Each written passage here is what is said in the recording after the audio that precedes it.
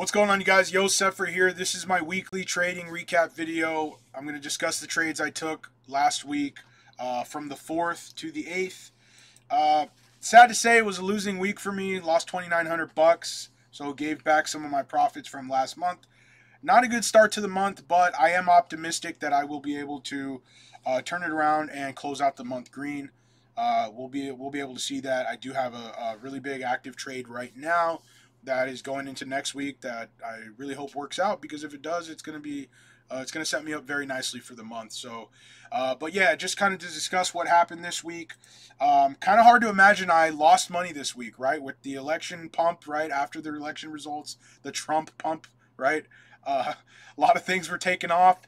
Um, but unfortunately, I couldn't really participate too much because, as you know, I do work seven days a week, 10 hour shifts, and uh, a lot of time I just can't find time to come to the computer and do anything because I'm either helping customers, dealing with my team, making orders, doing a lot of different things. So it's been exhausting and it's a little frustrating.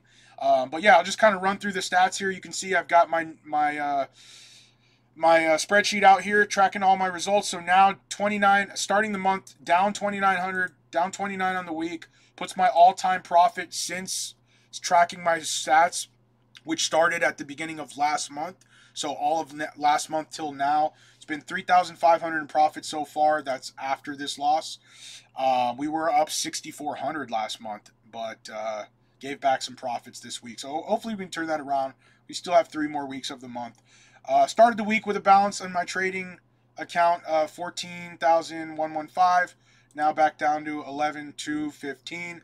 20% loss in the week. You can see my total winners all-time winners uh, 86 all-time losers 16 total trades 102 puts me at an 84.3% win rate.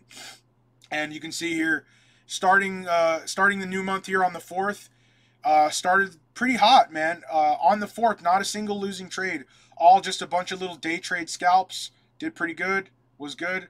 But then you can see uh, on the 5th closed out a big loser here uh, actually on the 6th during the, well, it was on the pre-market session of the 6th, but yeah. Um, big loser on Palantir. Just didn't work out for me. You can see here, this is the closing order. 1,000 shares. Uh, closed it, and yeah, it wasn't really good at all. Um, did make a little bit of that back. I had a winner on Palantir where I grabbed 918 shares, took it long, and you can see sold them for a little bit of a profit. You see right here. Uh, let me get this. You can see right here. Uh, you know, 5306 sold at 5372.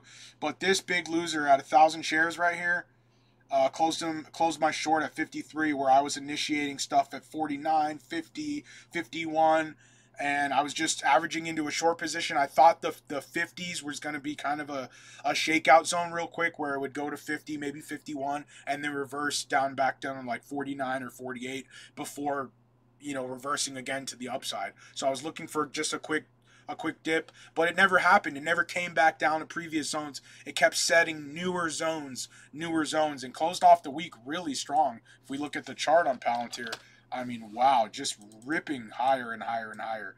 And yeah, this is where on the 5th, as we were pumping, I started initiating shorts, and you can see just just kept on going. I closed it the following morning at 53 bucks. But um, at least I hopped back in and got got $496 back on that long trade on Palantir. Then I had a, uh, several other day trade winners. It was looking good. It was looking really good. Uh, but then gave back 700 bucks on Coinbase uh, shorting the, the shares took off on me. Uh, closed him out at a loser. Then, you know, was winning quite a bit of money back. You can see here, just winning quite a bit of money back here. Just bang, bang, bang, bang, bang. And then um, you can see right here, uh, big loser taking Square into earnings. If we look at the chart, I was I was betting that the stock was going to spike on earnings because they were uh, if just based on the chart, we had pumped, we had kind of broken this zone here. If I draw a line here, uh, we we were above that, okay, and I don't know, man. I just felt like there was some room for the upside on earnings to maybe spike a little bit higher real quick, and it just didn't happen. Um, again, I, I, a little frustrating week because I don't get a whole lot of time to prepare my setups and to, to, to kind of you know do my market analysis, set up levels, read the you know read the the news alerts and things like that. I work seven days a week, ten hour shifts. This is why I trade credit spreads, right? Because it it favors a person like me. It's very passive. I don't care about really kind of any intra, int, uh, you know intraday movements provided we're staying below or above the level that I specified. That's it. But with these types of directional trades, such as day trades or you know uh, day trades of options or day trades of equity, it's purely directional. That's all it is. You got to get the direction right. You got to be there to manage it. You got to do everything right. And so that's why I trade credit spreads. So as you know from the last video, I mentioned I won't be doing very many credit spreads this week due to the heightened volatility generally you don't want to be trading credit spreads when it's when there's a ton of volatility. You just don't. You want to trade during normal weeks, you know. And so um, I did do two spreads though this week. Uh, I had a winner on Ulta Beauty Inc. You can see here, 206, and then uh, 471, and then on Lululemon had a put spread that I sold, collected 265 on that one. So, you know, and then I did buy some debit spreads on Netflix and uh, bagged winners on those. But then as soon as I try to do like some some other, you know, earnings type of plays, didn't work out. And honestly, I really don't play earnings as a buyer, man. You guys know that if you've been watching my last couple videos, you know, on my weekly recaps, you can see some earnings plays I've done, but I'm a net seller of options during earnings because the IV is so high and everything like that. And I pick my level, and usually it works out for me. But as the, these plays, I was a buyer. I was a buyer of equity and a buyer of options here on DraftKings, and they both turned out to be losers. I normally don't do that, but I kind of, I don't know, I was reminded of my past where I used to do that, you know, back like several years back. I used to kind of play earnings that way, and it never really worked out the way I wanted it to. And I had an acquaintance who I knew who was in the market also during that time, and we kind of like did some plays together, and you know we lost, right? Um, I recently uh, uh, got in touch with that person, and we we went ahead and you know had a few beers and kind of caught up. And I said, "Hey, how's things been going for you?" Haven't talked to him in a long time, but I reacquainted just to you know say, "Hey, you know what's going on? How things been?" They're still doing the same thing risky earnings plays, blowing money. In fact, they blew their whole account.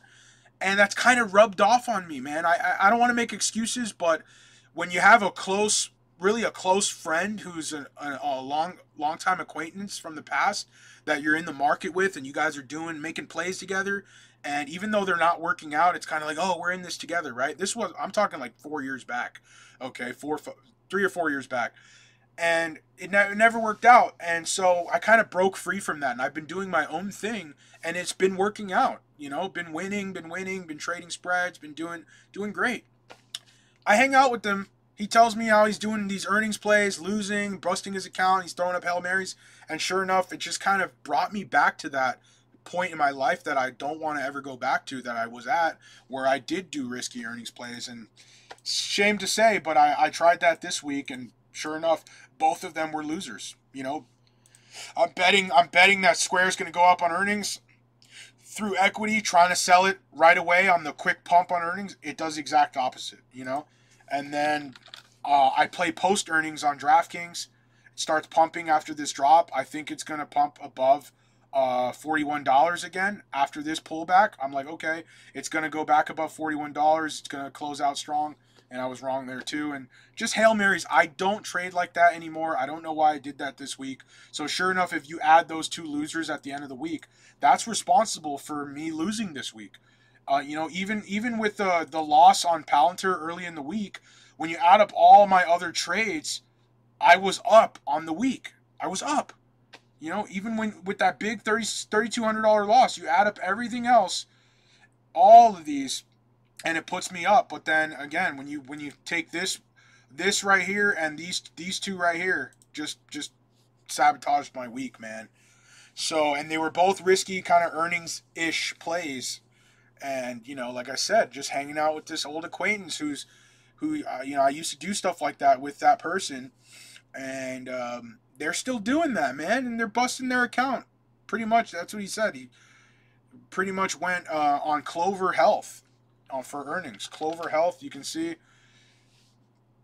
basically went all in with his like he's like I'm all in with my last bullet, man. And sure enough, look what happened, man. Just boom, just down. So, and he's betting long on it uh, for earnings. With heightened uh, implied volatility, options are super expensive. You guys know I don't do that stuff, you know, but I did it this week, and I, I, I guess old acquaintances can rub off on you, you know. So I'm kind of trying to distance myself from that, and um, that's pretty much it. That's really all I have to say. I'm not really going to do any trade breakdowns because most of it was quick day trade scalps. There's not much to really talk about there, and I don't really want to relive these losers here. Um, you know, all I can say is um, I don't, I didn't have enough time to really, you know, kind of do my TA and DD and really make proper decisions this week with all the heightened volatility.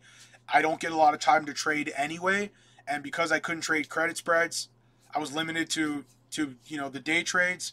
But then I guess out of frustration, I just hopped into some risky risky earnings plays, which is so stupid.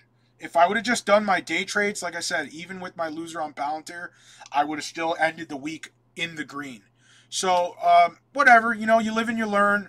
Uh, but yeah, I'm to definitely get away from that again. No more risky earnings plays.